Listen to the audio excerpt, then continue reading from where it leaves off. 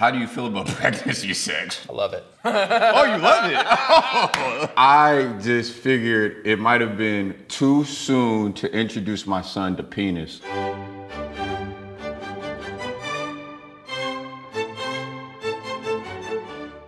Hi.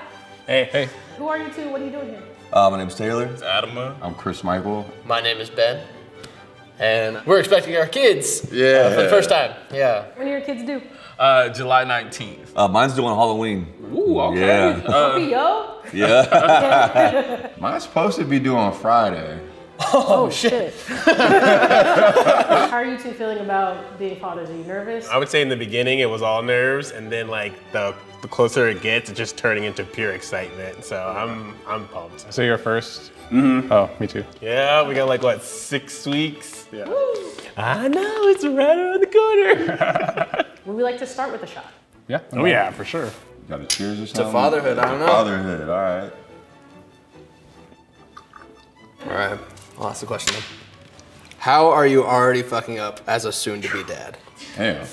Starting off strong. Probably just like I don't have anything yet. I don't have like bottles. I don't have diapers. I don't have. I have nothing. I mean, I feel that we're waiting for a lot of it at the baby shower. Honestly, Yeah, that's- that's we're like it is. really banking on it. We're saving money.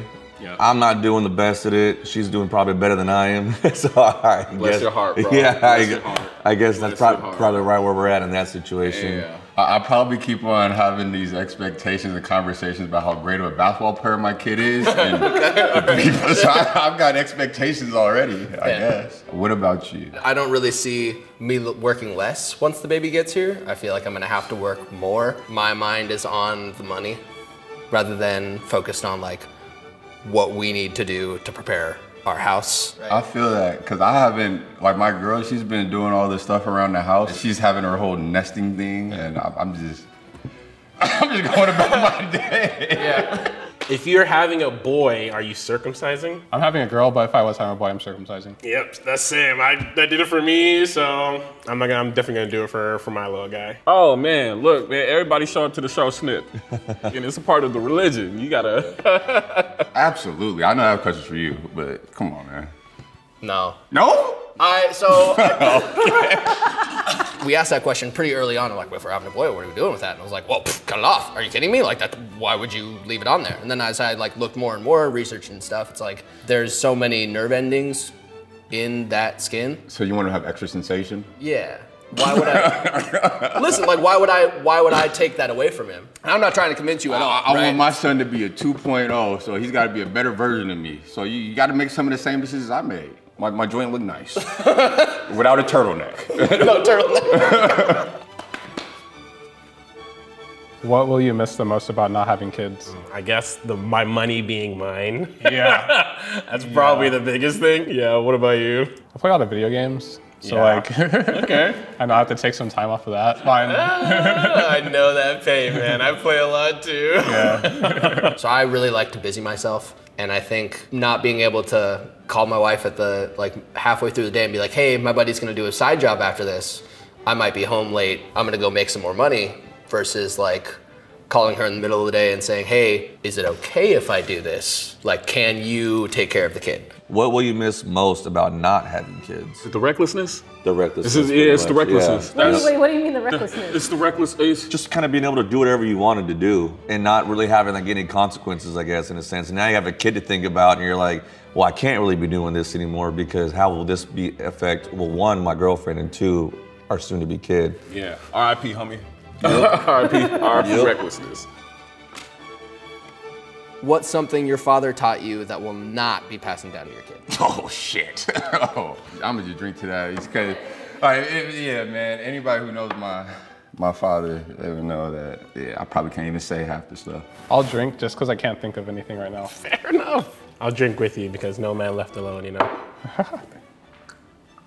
I, I do love my dad, but we didn't have the best relationship growing up as kids. Real. Pretty much everything that I seen him do, I just know I, I do not want to be like that. Yep. I hear you. There was a point we didn't talk for a while, and then just found out he had cancer. So I was like, I'd rather not, Real. you know, go down that road where like I don't reconcile with my dad. Shit happens, life goes on. Yeah.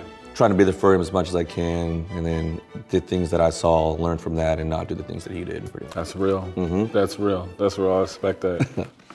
Alrighty. How do you feel about pregnancy sex? I love it. Oh, you love it.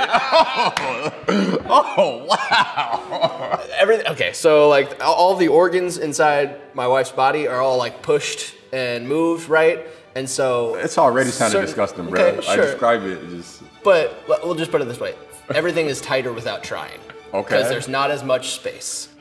So not only is it better for me, but it's a whole lot better for her. I'll keep it a buck. The two ain't the same. I'm a positions man. Less positions. Less positions for the man. yeah. Yep. But but like like here here's my thing. Okay. I just figured it might have been too soon to introduce my son to penis. Because like like when you go to the doctor visits, like when you get as close as I am, they start telling you stuff like, oh, you know, like, oh man, we're gonna reach your hand up in here and you know see where she's at. And then they'll be like, oh man, I just touched his head. I'm like, oh, I'm gonna do the same thing.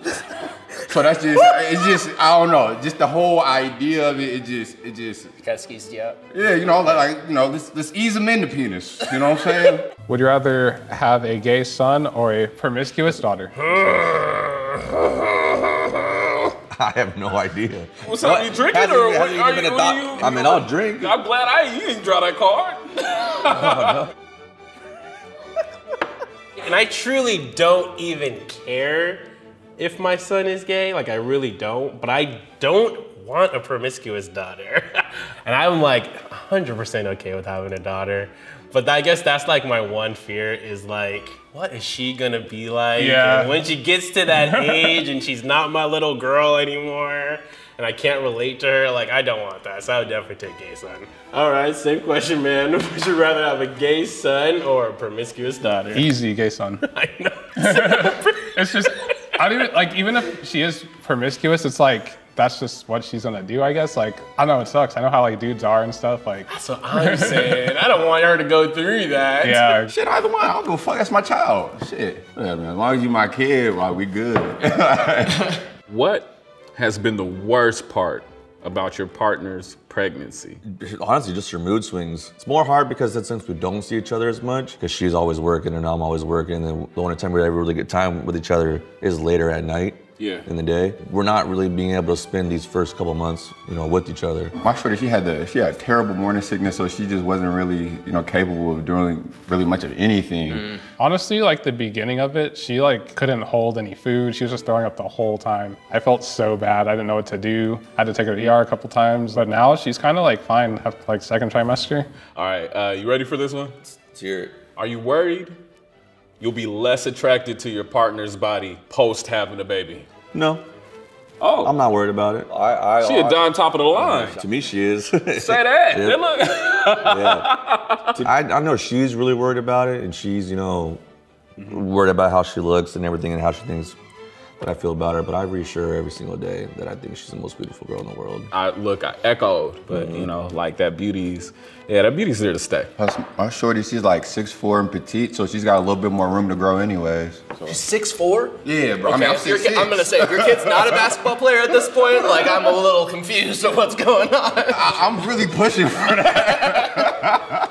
How are you not going to fuck up your kid? I know, right?